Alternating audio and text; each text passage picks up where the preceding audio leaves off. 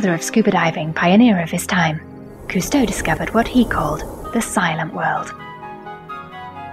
We discover an environment overcome by colour. In a silent world ruled by visual display, colour forms a cryptic language we haven't yet understood. Vibrant in dazzling colours and pattern, tropical fish seem to advertise their presence. Surely this isn't the best way to evade predation. What you need to remember is the background against which the fish appears. Um, this is critical to its survival. If you place a boldly striped animal in a boldly striped background, it tends to disappear. Uh, and this is called the principle of disruption or disruptive camouflage. The fish's favourite colours seem to be blue and yellow. Seen through their eyes, yellows blend into the coral reef background, and blues obviously blend well with water. So it stands to reason that yellow fish stick to the coral bed, while bluefish are more comfortable high above the reef or in open water.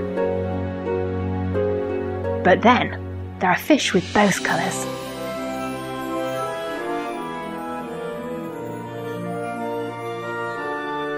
When we look at the reef, we're faced with a paradox. How can fish be hidden from their predator, yet simultaneously obvious to a mate?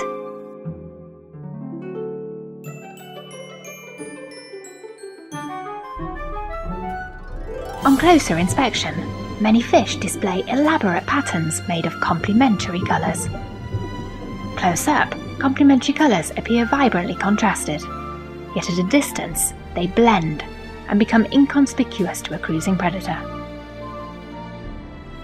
This is the secret tool used by fish to whisper and shout at the same time. Many of the fish that you see out there contain little spots of colour. They're just like a pointillist painter's canvas. And this means that as the fish is seen close to, the spots of colour stand out very conspicuously. They're very bright. So fish talking to each other next door will see these spots and stripes. However, as the fish moves off into the distance, the spots and stripes combine to give a different colour, and the fish becomes an exact match to its background. Marine animals know their colour scheme and the visual system of others. Whether friend, mate, or rival, they analyse their world and change position, choosing whether to be flashy or disguised, depending on what they want to say. Fish talk with colour all the time. If you think about a reef situation which is a, a thronging mass of many different coloured fish, they're literally shouting at each other all sorts of different messages all the time. Colour is an integral part of social behaviour, used in clever and complex strategies to pass messages. This is a language of colour, which for the first time ever, we're starting to grasp.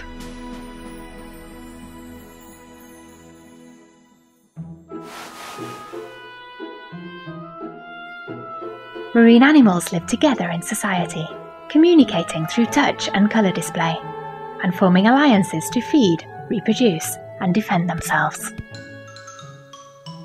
To evade predation, some blend with their background. Others try to get noticed. Wearing vibrantly contrasting, highly visible colours, the black-saddled toby shouts his presence. He's highly poisonous, and he's immediately noticed. Predators identify him and leave him alone. During the day, without a care in the world, his safety is assured by his loud colour warning.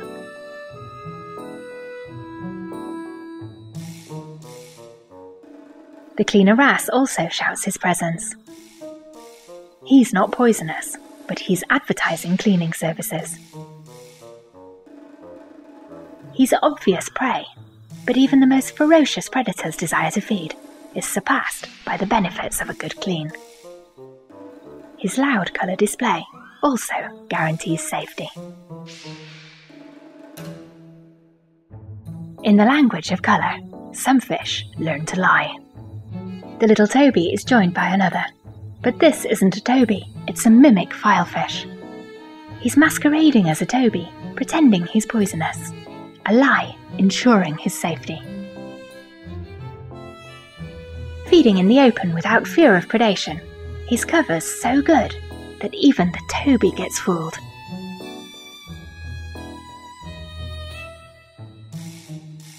Another liar is the mimic fangblenny. He impersonates the cleaner wrasse, taking on his colours and imitating his swimming behaviour so he can approach trusting fish. Pretending to clean them, he snaps a piece of flesh with sharp fangs, then quickly retreats in a burrow to savour the delicacy.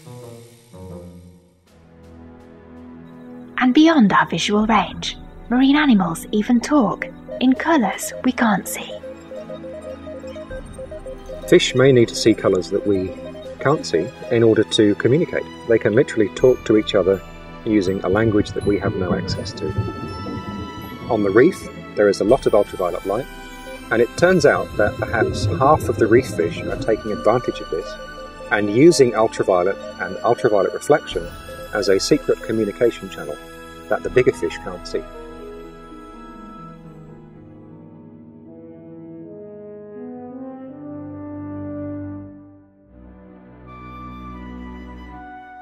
using an incredible palette of colour to hide or be seen, attract a mate, warn friends, display anger or fear, or mimic a different species. Fish have mastered the art of talking in colour. Reef fish are talking with colour. They're talking to each other in a language that we don't understand, but one for them which is very important. To save this world, we should first learn to listen.